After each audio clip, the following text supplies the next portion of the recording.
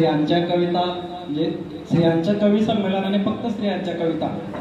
बाई बाईवरच्याच सगळ्या कविता आणि ते साहजिक जेव्हा चार बायका एकत्र येतात तेव्हा त्यांचं त्यांचेच प्रश्न असतात सगळे आणि ते साहजिक आहेत. पण मी जरी अल्पसंख्याक असलो तरी माझी बाजू कुठंतरी तर मांडली पाहिजे. माणसाला कितीही दोष दिला बऱ्याच कवितांमधून ऐकताना तुमच्या वेदना हृदयापर्यंत पोचत होत्या. आणि कुठंतरी पुरुष असल्याबद्दल खालीमान करायची का काय इथपर्यंत भावना वाटत होत्या. आणि त्या साहजिक आहेत. मी पुरुष असल्यामुळे एक पुरुषावरची कविता अर्थात साहित्यिकांनी प्रचंड अन्याय केलेला बाब हा आपल्यासमोर ठेवतो. कारण सगळ्याच नव्वद टक्के साहित्यिक कवींनी फक्त आई मुलगी याच जगासमोर आणल्या. आणि जसा बाप नेहमीच घरात दुर्लक्षित असतो तसाच साहित्यातील बऱ्याच प्रकारे म्हणजे बऱ्याच प्रमाणात दुर्लक्षित राहिला. आणि मग मी त्यांच्या प्रतिनिधी असल्याने इथं बाप मांडावा अशी एक इच्छा आहे. आणि म्हणून मी आपल्यासमोर की तुफान गर्दी जमली जाता खांद्यावरती. तुफान गर्दी जमली जाता खांद्यावरती. केले कौतुक अपाट माझे मेल्यावर. आणि गजलेंचं एक वैशिष्ट्य असतं की प्रत्येक शेरी एक कविता असते. पुढचा शेर की घरात माझ्या वैभव आले राजा जावं. घरात माझ्या वैभव आले राजा जावं. एक मुलीचा बाप आज मी झाल्यावरती. परत एक मुलीचा संदर्भ घेऊन असलेला एक शेर ठेवतो आणि सांगतो की गावा साहेब सगळे सोयरे रडले सारे. गावा साहेब सगळे सोयरे रडले सारे. लेख शेवटी बापासाठी रडल्यावर. तुमच्यासमोर कविता ठेवतो की बाप नीटसा कळलाच नाही. लहानपणी मायपेक्षा बाप लहानपणी मायपेक्षा बाप मला कधीच जास्त आवडला नाही. लहानपणी मायपेक्षा बाप मला कधीच जास्त आवडला नाही. आणि खरं सांगतो मित्र अजून अजूनही मला माझा बाप नीटसा कळलाच नाही. लहानपणी मायपेक्षा बाप मला कधीच जास्त आवडला नाही. खरं सांगतो मित्र अजूनही मला माझा बाप नीटसा कळलाच नाही. मुका घेत पोटाशी धरायची म्हणून मुका घेत पोटाशी धरायची म्हणून जन्मभर मला मायेच प्रेमळ वाटली. मुका घेत पोटाशी धरायची म्हणून जन्मभर मला बायच प्रेमळ वाटली. आणि ढोरासारख्या राबणाऱ्या बापाची मात्र मनात कायम भीतीच वाटत राहील. फाटक्या संसाराचं टिगळ शोधताना फाटक्या संसाराचं टिगळ शोधताना बाप स्वतःसाठी कधी जगलाच नाही. फाटक्या संसाराचं टिगळ शोधताना बाप स्वतःसाठी कधी जगलाच नाही. खरं सांगतो मित्र अजूनही मला माझा बाप नीटसा कळलाच नाही. काट्या कुट्यात आणि दगड टेकडांमध्ये काट्या कुट्यात आणि दगड दगड टेकडांमध्ये माझा बाप आयुष्यभर राब राब राबायचा. काट्या कुट्यात आणि दगड टेकडांमध्ये माझा बाप आयुष्यभर राब राब राबायचा आणि उन्हात आणात राबणारा बाप मला काड्या कुट्ट त्या विठ्ठला वाणीच दिसायचा.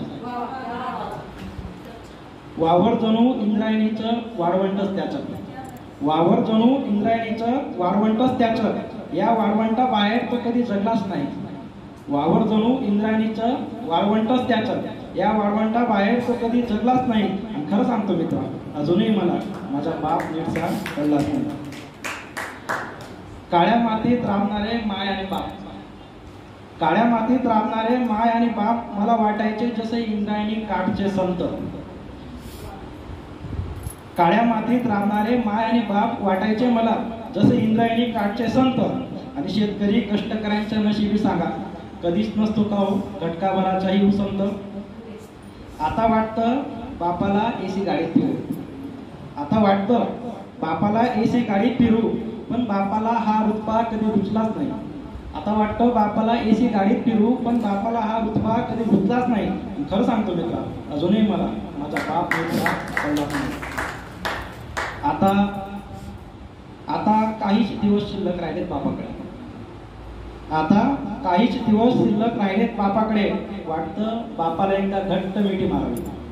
आता काहीच दिवस शिल्लक राहिलेत बापाकडे. वाटतं बापाला घट्ट मिठी मारावी. आणि जीवनात कळत नकळत झालेल्या चुकांची बापाकडून मनापासून माफी मागावी. आता काहीच दिवस शिल्लक राहिलेत बापाकडे. वाटतं बापाला घट्ट मिठी मारावी. आणि जीवनात झालेल्या कळत नकळत चुकांची बापाकडून माफीही मागावी. माझा विठ्ठल रुपे बाप या जन्मी मला. सांग पांडुरंगा का कधी उमगलाच नाही? माझा विठ्ठल रुपी बाप या जन्मात पांडुरंगा सांग मला का कधी उमगलाच नाही? आणि खरं सांगतो मित्र अजूनही मला माझा बाप नीटचा कळलाच नाही. माझा बाप नीटचा कळलाच नाही. किती आणि कसे गाऊ तुमचे गुणगान?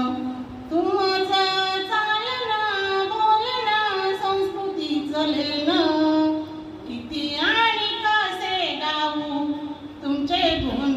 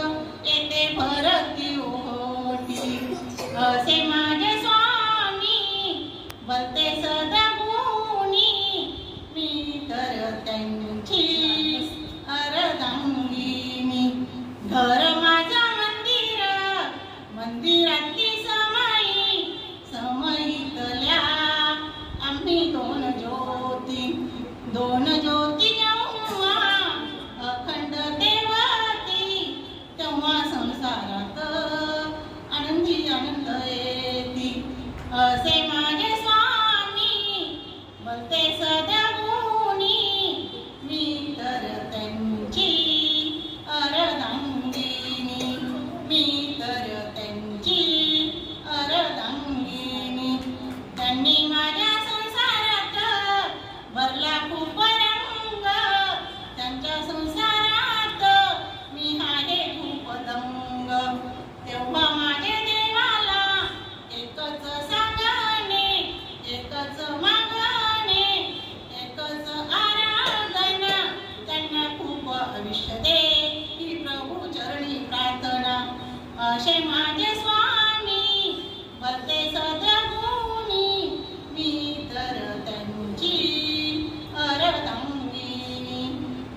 मी तर त्यांची अरदांगिनी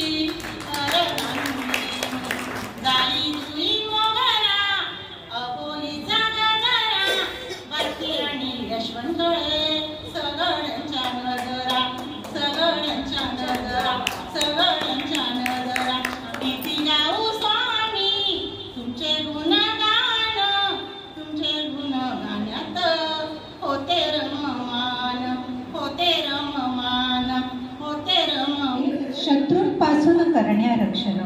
लढले शत्रूंपासून करण्या रक्षण ही स्वातंत्र्याची कथा. लढले शत्रूंपासून करण्या रक्षण ही स्वातंत्र्याची व्यथा. देश बांधव लुटती स्त्री लज्जा ही स्वातंत्र्याची व्यथा ही स्वातंत्र्याची व्यथा. सावकारी शेत साऱ्यातून मुक्ती. सावकारी शेत साऱ्यातून मुक्ती ही स्वातंत्र्याची कथा. त्याच्यासाठी लढे होत होते. सावकारी शेत साऱ्यातून मुक्ती ही स्वातंत्र्याची कथा लोड शेडी आणि हमी भावाची युग उक्ती ही स्वातंत्र्याची व्यथा. लोड शेडिंग आणि हमी भावाची उक्ती ही स्वातंत्र्याची व्यथा. देश रक्षणास्तव विदेशी शिक्षण. सावरकर गांधी हे विदेशात गेले ते देश रक्षणासाठी गेले. देश रक्षणास्तव विदेशी शिक्षण ही स्वातंत्र्याची कथा. देश रक्षणास्तव विदेशी शिक्षण ही स्वातंत्र्याची कथा. विदेशी चलनास्तव स्वदेशी शिक्षण ही स्वातंत्र्याची व्यथा. विदेशी चलनास्तव स्वदेशी शिक्षण ही स्वातंत्र्याची व्यथा. प्रत्येक हाती मुबलक काम. प्रत्येक हाती मुबलक काम ही स्वातंत्र्याची कथा. बेरोजगारीला ना लागे लगाम ही स्वातंत्र्याची व्यथा. बेरोजगारीला ना लागे लगाम ही स्वातंत्र्याची व्यथा. धन्यवाद. ते हसून उठते मागी असे कुणाचे भाग्य नासते जळणे उरते हाती असे कुणाचे भाग्य नासते जळणे उरते हाती स्वर्गदयांचे स्वप्न होऊनी फाडून खाती डोळे. स्वर्गतयांचे स्वप्न होऊनी फाडून खाती डोळे. अश्रूमधून जीवन सगळे गालावरती लोळे. उरात घेऊन मूक वेदना. उरात घेऊन मूक वेदना आयु पसारा चाले. स्वतः स्वतःचे बुडून तुकडे ओठ राखती ओली दूर दूर पेटले रानुषाशी हात तयाचा पाठी. दूर पेटले रानुषाशी हात तयाच्या पाठी. नजरे पुढची हिरवळ ओली केवळ पुढण्यासाठी. याच खमांच्या कुठे किनारा? या जखमांचा कुठे किनारा? कुठे हरवले पाणी? कुण्या वस्तीला अडली यांची साबरमती गाणी? यांची साबरमती गाणी. आपल्या माणसांचे आभार आपणच नसतात मानायचे. जिव्हाळ्याचे भाव त्यांचे फक्त असतात जाणायचे. अशा सोहळ्यामधून जपायची असतात नाती अशाच या सोहळ्यामधून जपायची असतात नाती हृदयात असतात साठवायचे आठवणींचे मूर्ती आठवणींचे मूर्ती तर मैत्रिणींना आणि मित्रांनो मी तुम्हाला आज छान कार्यक्रमाला घेऊन आलेली होती आणि मला नक्कीच असं गॅरंटी आहे की तुम्हाला हा कार्यक्रम जो आहे तो नक्कीच आवडला असेल. सगळ्यांनी आपले मतं आणि आपल्या ज्या भावना आहेत त्या छान अशा कवितांमधून व्यक्त केलेल्या आहेत. आणि तुम्हाला प्रत्येक कविता जी आहे ती खूप छान आणि शांततेत दोन दोन तीन तीन कविता मी प्रत्येक व्हिडिओमध्ये टाकणार आहे. त्याच्यामुळे तुम्हाला शांततेमध्ये या सगळ्या कविता ऐकायला मिळतील आणि तुम्ही त्याचा घर बसून छान आनंद घेणार. तर मी तुम्हाला हा आनंद देण्यासाठी इथे या कार्यक्रमाला घेऊन आलेली होती. आणि इथे जे आहे आपल्या आई वडिलांबद्दल नंतर आपल्या सासू सासऱ्यांबद्दल नंतर आपल्या मनात येणाऱ्या वेगवेगळ्या अशा भावना आपण जे कार्य करतो त्याच्याविषयी भावना ह्या व्यक्त होताना स्त्रिया दिसल्या. आणि प्रत्येक याच्यातून स्त्रिया आलेल्या होत्या खेड्यातून आलेल्या होत्या शहरातून आलेल्या होत्या त्यांचे वेगवेगळे उद्योग असतात तिथून त्या स्त्रिया आलेल्या होत्या त्यांनी आपलं मन खूप छानपणे मोकळं केलं आणि आपल्याला ते ऐकायला मिळालं. आणि एक बाप असतो की ती बापाविषयी कविता मला खूप आवडली आणि मला अक्षरशः रडू आलं की आपण खरंच म्हणतो प्रत्येक वेळेस आपण आईला जितकं महत्त्व देतो तितकं आपण आपल्या वडिलांना देत नसतो. पण आपल्या वडिलांचा जो आधाराचा हात असतो तो आपल्या पाठीवर नेहमी असतो.